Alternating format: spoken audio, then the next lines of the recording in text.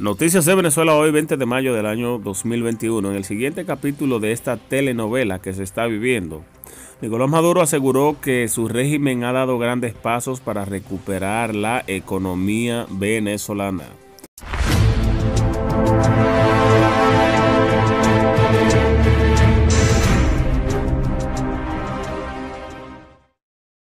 ¿Cómo están? Gracias por visitar nuestro canal. Antes de iniciar con las noticias, te pedimos que nos ayudes con tu suscripción y actives la campanita para que te enteres al momento cuando subamos un nuevo video. Deja tus comentarios, comparte y dale like. Es de mucha ayuda para nosotros. Titulares. Juan Guaidó reveló que está en conversaciones con los Estados Unidos para facilitar la donación de vacunas contra el COVID-19. Titulares. Activistas de los derechos humanos exigieron en Bruselas a la Unión Europea reconocer que países europeos benefician y ayudan al dictador Nicolás Maduro y su régimen a mantenerse en el poder.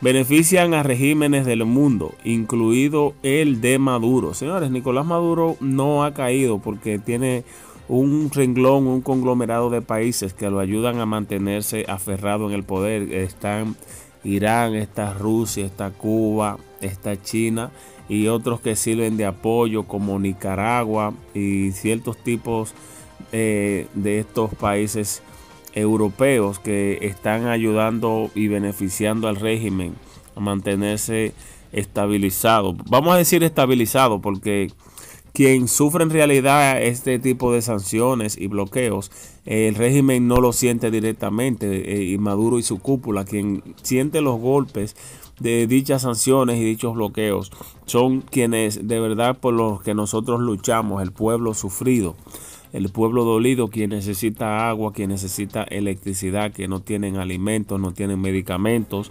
porque todos si nos ponemos a analizar al régimen no le falta nada, ellos tienen la mejor salud, pero llegó esta pandemia que no los ha perdonado. Sabemos que ya muchos chavistas se, se reunieron de la alta cúpula política del régimen con Chávez, porque en este sentido esta pandemia no tiene distinción y esto le ha traído un poco de alivio a la población porque se está viendo que está trabajando en igualdad. Espero que me entiendan. Iniciamos con las noticias más relevantes de Venezuela y el mundo.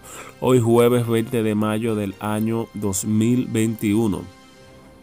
Acompañado por el gobernador del estado Miranda, Héctor Rodríguez, el líder del régimen, Nicolás Maduro, habló de la economía venezolana en el marco de una alocución denominada Miércoles Productivos, celebrada este pasado miércoles 19 de mayo desde Guarenas.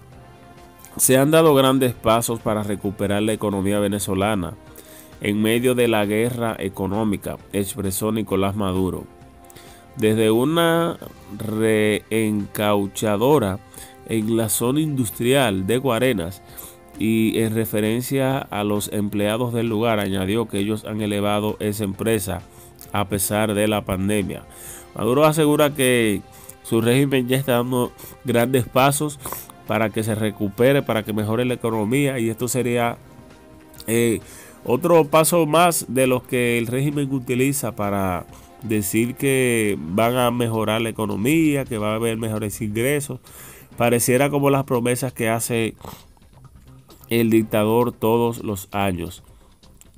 Juan Guaidó reveló que está en conversaciones con los Estados Unidos. El presidente interino de la República informó que está hablando con el gobierno de los Estados Unidos para facilitar la donación de las vacunas contra el coronavirus en Venezuela.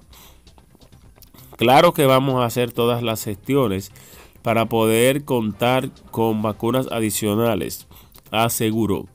Recientemente el gobierno de los Estados Unidos aseguró que en total donará 80 millones de vacunas contra el COVID-19. El que no permite que hoy tengamos las vacunas del sistema COVAX de AstraZeneca es el régimen, afirmó Juan Guaidó. Varias organizaciones de activistas por los derechos humanos cambiando de noticia Derechos Humanos de Venezuela, Nicaragua, Cuba, Ucrania, Irán, Siria, Tibet y de la etnia uigur, uigur de, se han unido en la plataforma ciudadana de Toher de Freedom para exigir a la Unión Europea que reconozcan que benefician con negocios a los regímenes del mundo. Patricia Betancourt, presidenta de la Asociación de Venezolanos Ven Europa, aseguró a EFE que lo primero que tiene que hacer la Unión Europea, a la que acusó de ser cómplice, es reconocer que esto está pasando. No puedes crear una democracia y ciudadanos libres si sabes que el mundo, en el mundo no hay libertad. Prosiguió a la vez que pidió a las autoridades europeas que manifiesten su descontento cuando se reúnan con los líderes de sus países. La escritora y activista cubana Zoé Valdés pidió a la Unión Europea un bloqueo muchísimo más fuerte en que el embargo americano para el régimen Castro comunismo imperante en Cuba que éste agobie su tiranía. Los negocios de países europeos con Cuba dijo que tienen como resultado el beneficio de esos dictadores, esos tiranos, la destrucción de países como Venezuela, por ejemplo, que le han chupado hasta el hueso. Together for Freedom es una compañía ciudadana e internacional que reúne a activistas por la libertad de países que están sufriendo la tiranía, ya sean de otros países o la de sus propios regímenes, explicó Betancourt, en la que en una rueda de prensa de presentación de la coalición celebrada este miércoles pasado, 18 de mayo, en Bruselas, presentó todo lo que están sufriendo los países bajo esta persecución política y regímenes. Betancourt argumentó que detrás de cada régimen hay similitudes y que su sufrimiento es parte de una estrategia común orquestada principalmente por China, Rusia e Irán. En el acto estuvieron presentes representantes de organizaciones de uigures, ucranianos, cubanos, venezolanos, iraníes y nicaragüenses.